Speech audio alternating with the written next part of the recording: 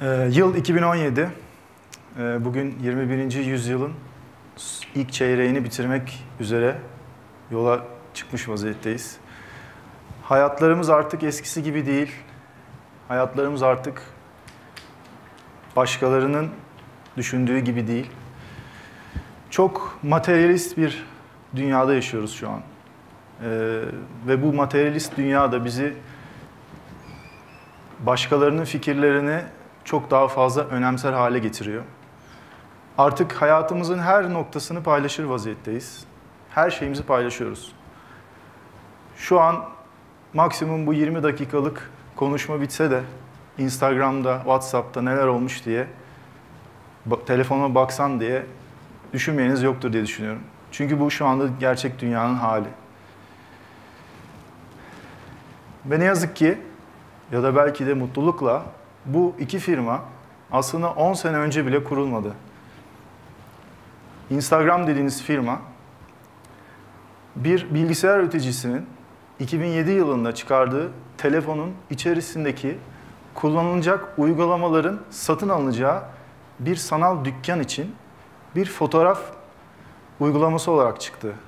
Ve bu firmayı 2004 yılında sadece sosyal ağ, sosyal medya olarak çıkan başka bir firma 1 milyar dolara satın aldı. Aynı firma 2 sene sonra 2014 yılında kendi mesaj firması olmasına rağmen WhatsApp'ı 22 milyar dolara satın aldı. 2016 yılında Türkiye'nin cari açığı 33 milyar dolar. Bugün bu sosyal medya firmasının tam 1.8 milyar kullanıcısı var. Yani bugün dünyanın 8 milyarlık nüfusu olduğunu varsayarsak her 4 kişiden fazlası bu sosyal medyanın bir parçası. Siz belki o 1.8 milyar içindesiniz ama diyorsunuz ki artık ben Facebook var, Instagram var, orada daha artık etkinim. Ama onun da sahibi zaten. Ve e, bu büyüyerek devam ediyor. Bugün sizce o firma WhatsApp'ı 100 milyara satar mı? Bence satmaz. İşte e, yeni dünyadan bahsettiğim bu. 2007 yılında dünyanın en büyük 10 firması arasında 5 tane enerji firması vardı. Sadece bir tane teknoloji firması vardı. Bugün 2016 sonuna geldiğimiz zaman bu oran tam tersi. 5 tane teknoloji firması, bir tane enerji firması var. Peki bugüne kadar bize hep şunu söylediler. Dünyanın en önemli şeyi politika, politikadaki en önemli şey de enerji. Enerji eşittir petrol. Petrol. Petrol 1990'dan beri 2008 yılına kadar hiç durmadan fiyatı arttı. 147 dolara kadar çıktı. 2008 yılında ne oldu? Meşhur kriz aşağı. Ve şu anda son 3 senedir 50 dolarlarda, 53 dolarda, 50 dolarda. Peki dünyanın en çok petrol ihraç eden ya da petrol üreten ülkelerine baktığımız zaman durum nasıl? Bir numaralı üretici Rusya. Üreticiden bahsediyorum. E, elindeki petrol e, havzalarından, petrol kaynaklarından bahsetmiyorum. Bir numaralı üretici Rusya. 10 milyon varil günde üretiyor. İki numara Arabistan. 10 milyon varil üretiyor. Üç numara Amerika. 7 milyon varil üretiyor. Başka bir şeye geleceğim. Amerika dünyanın bir numaralı enerji harcam, harcayan ülkesi. Günde 20 milyon varil petrol tüketiyor. Yani ne demek bu? Günde 53 dolardan çarparsanız 1 milyar dolar petrole harcıyor. Yılda 365 milyar dolar petrole harcıyor. Bunun 13 milyar dolarını, 13 milyon varilini günlük ithal ediyor. 7 milyon varilini günlük kendi üretiyor. Peki birleştiriyorum. Bunları neden bu kadar anlattım size? Paranın el değiştirmesinden bahsediyoruz ya. Bugün dünyanın en önemli şeyi petrol zannediyoruz. Halbuki şu an ülkelerin politikalarının, stratejilerinin belirlenmesindeki bir numara etken petrol olmamalı. Ama bunun gene tersini bize söyleyen bir Amerika Birleşik Devletleri Başkanı var. Mr. Trump.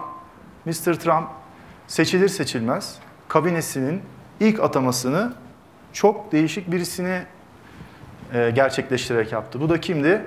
Rex Tillerson. Rex Tillerson kim? Rex Tillerson dünyanın en büyük enerji şirketi Exxon'un 10 sene görev yapmış eski CEO'su. Ve Rex Tillerson Amerika'nın Dışişleri Bakanı oldu. Yani aslında Rex Tillerson eski e, görevinde dünyayı politikasında en önemli rollerde yer alırken ülkeler bazında bu sefer Dışişleri Bakanı şapkasıyla gene aynı ülkelerde politika ve e, diğer ilişkilerden sorumlu olacak.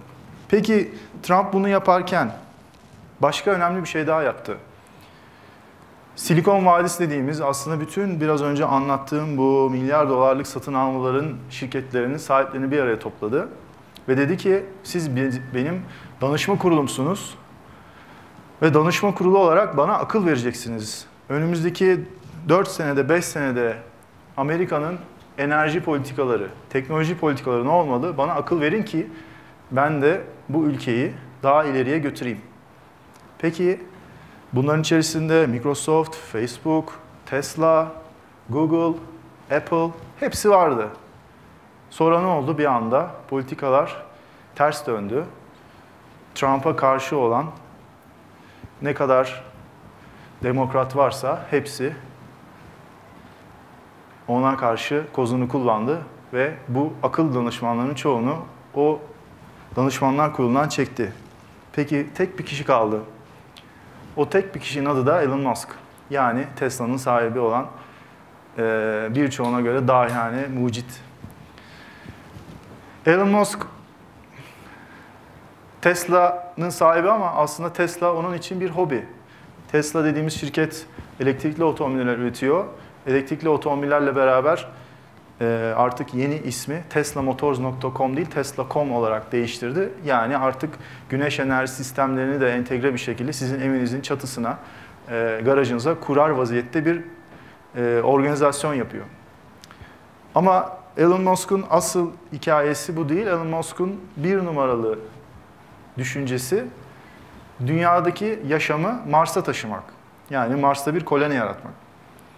Bu herkes için bir hayal gibi gözükse de e, kendi kurduğu SpaceX adlı roket şirketiyle ilk denemelerini gerçekleştirdi ve oraya gidip gelmek için gerekli olan roketlerin tekrardan kullanılabilme teknolojisini gerçeğe dönüştürdü.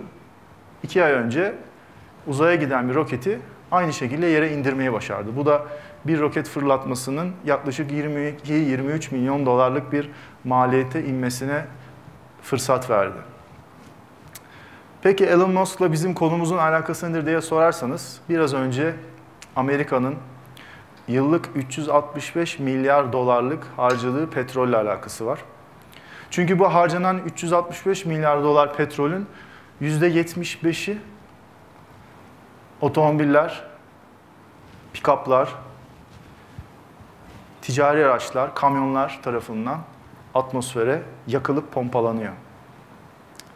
Ve Elon Musk'un teknolojisinin başını çektiği Tesla'da şu an dünyanın bir numaralı elektrikli otomobil üreticisi.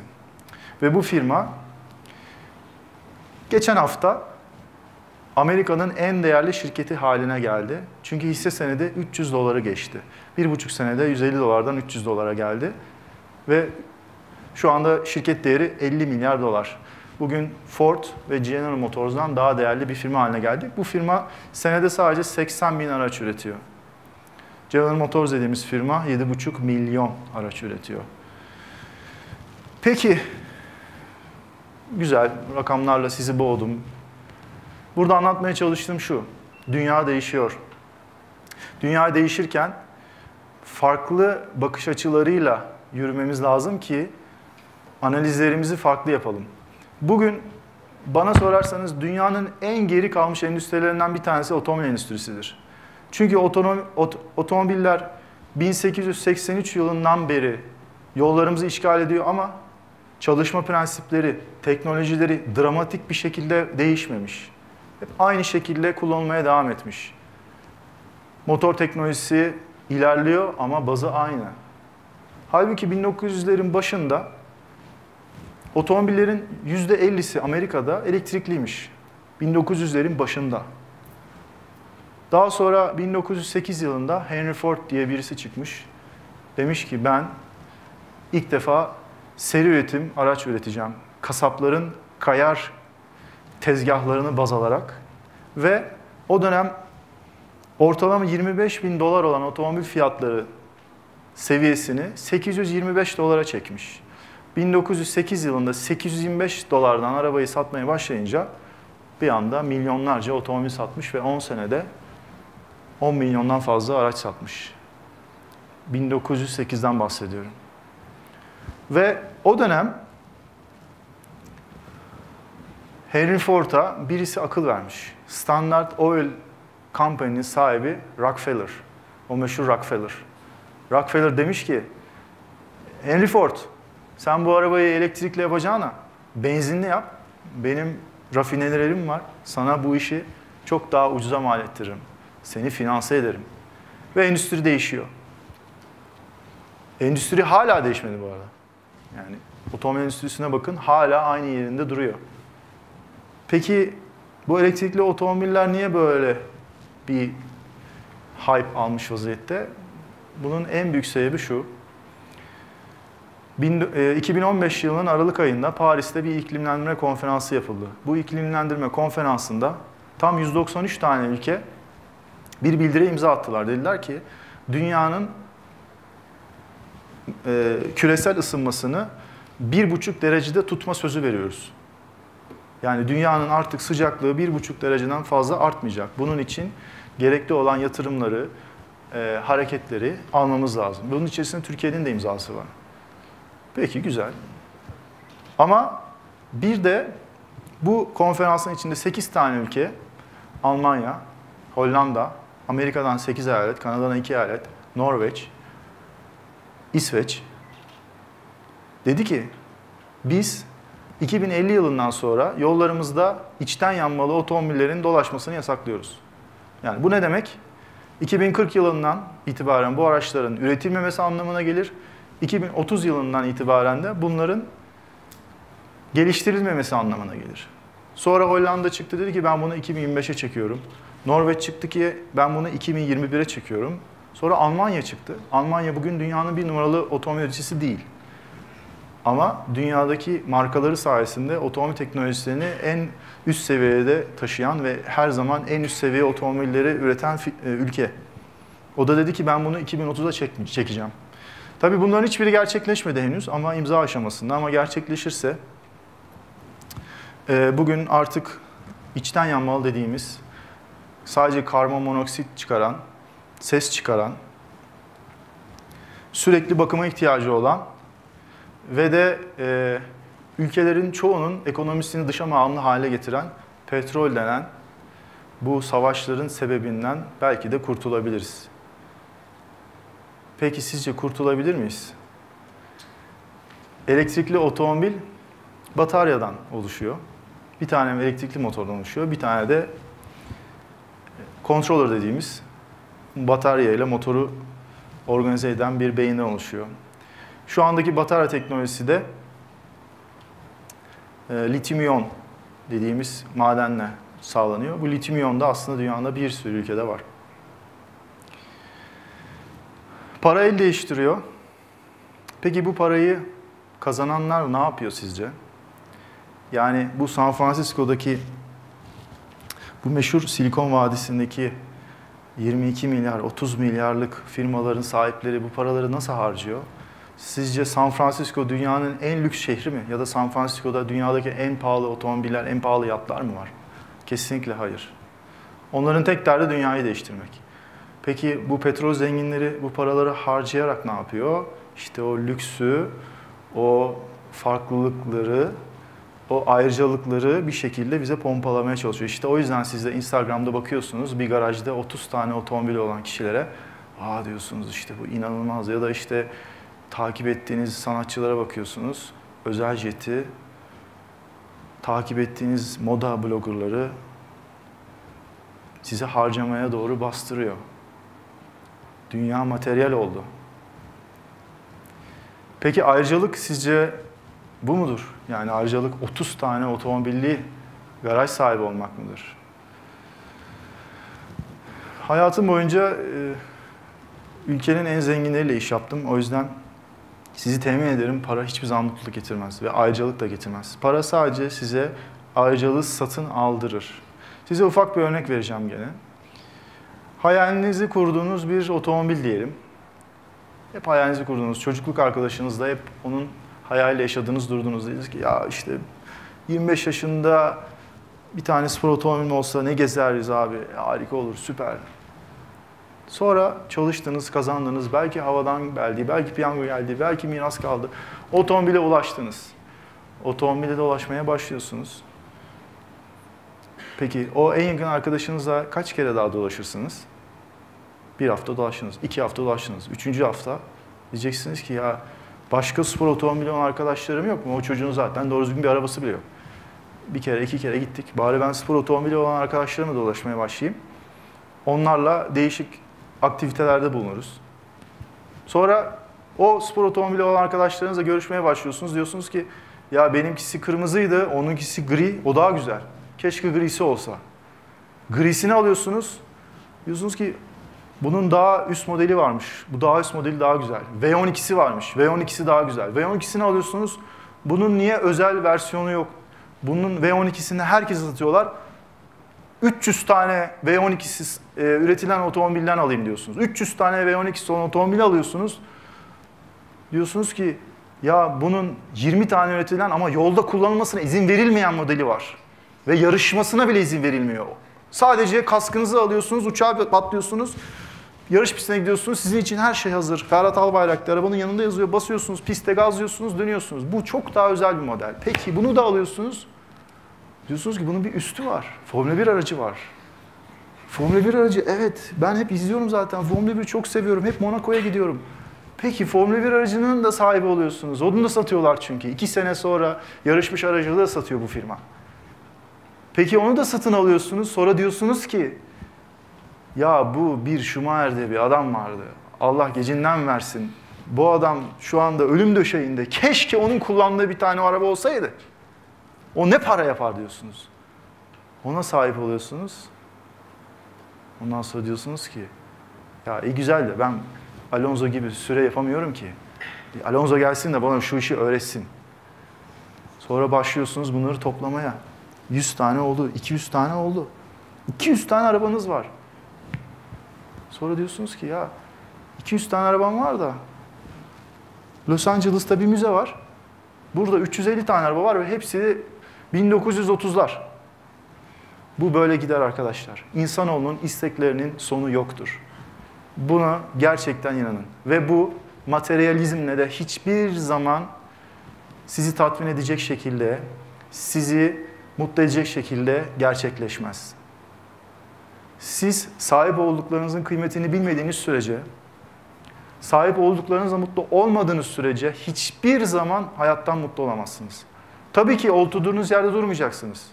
Her zaman çalışacaksınız, daha iyisi için uğraşacaksınız ama sizin o çocukluk arkadaşınızla kurduğunuz hayalde o çocukluk arkadaşınız yoksa o hayalin güzelliği yok zaten. Çünkü önemli olan basit yaşamak. Basit düşünmek. Tekne hayali kuruyorsunuz değil mi? Teknem olsun. Teknede et var mı? Teknede Coca-Cola var mı? Teknenin yanındaki tekne acaba benimkine vuruyor mu? Teknede acaba benzin var mı da ben karşıya gideyim Kosa gezeyim? Ya işte buradan biniyorum Pegasus'la iniyorum 10 milyon dolarlık tekneme biniyorum. Halbuki bir tane deniz uçağı olsaydı onun yanına inerdim. Orada deniz uçağıyla daha iyi giderdim. Sonra alıyorsunuz teknenizi 50 metre yanına bir geliyor 75 metre. 100 metre geliyor, 130 metre geliyor. 130 metrenin sahibi de diyor ki benim iki tane var, üçüncüyü yaptırayım. Abramovich.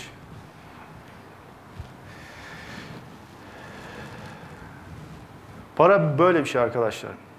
Para size ayrıcalık kazandırmaz. Para size sadece ayrıcalık satın aldırır. Ve ilişki satın aldırır. Ama parayla mutlu olmaya başlarsanız eğer bunun hiçbir zaman sonu olmaz. Hayal kurmaktan bahsediyorlar değil mi? Bütün konuşmalar hayal kurma üzerine. Hayal kurun, hayalinizin peşinden gidin. Hayalinizi gerçekleştirin. Ne güzel söylüyorlar. Ben de hep söyledim. Ama şunu atlıyoruz. Hayal kurmak yetmez. Israrcı olmak lazım. Israrcı olmak şudur. Siz hayalinizin peşinden giderken eğer o hayal 100 baremse buna gelecek 95 bareme geldiğiniz zaman zaten %85'i bu iş olmadı diye bırakıyor. Onun peşinden gitmiyor. Viyana'da violonsel çalmak istiyorsunuz değil mi? Kaç kere reddedilmeyi kendinize yedirirsiniz? Bir, iki, üç, beş. Halbuki o reddedilmek sizi yıldırmamalı. Bugün dünyadaki en başarılı insanların bir tane başarı hikayesi vardır arkadaşlar. O da hiçbir zaman hiçbir şekilde pes etmemek. Siz zannediyor musunuz ki Elon Musk'ın önüne tepsiyle geldiler. Al Elon'cığım bizim de böyle bir matematiğimiz vardı. Yılda 365 milyar dolar para harcıyoruz. Sen şu elektrikli arabayı yap da biz de senden alalım. Öyle mi oluyor zannediyorsunuz? Elon Musk haftada 100 saat çalışıyor arkadaşlar. 100 saat günde 13,5 saat demek. Günde 13,5 saat çalışmaya hazır mısınız? Pazar günü dahil. Elon Musk diyor ki ben gün haftada 100 saat çalışıyorum çünkü böylece 3 ayda haftada 50 saatten 3 ay fazla iş yapmış oluyorum diyor. Çok doğru matematik. Peki siz buna hazır mısınız? İşte hayal kurma, peşinden gitme ama gene herkesin unuttuğu bir şey var, fedakarlık. Fedakarlık yaptığınız sürece siz hedefinize belli bir başarı oranına sahip oluyorsunuz. O fedakarlık size kalmış. Bunu verecek misiniz?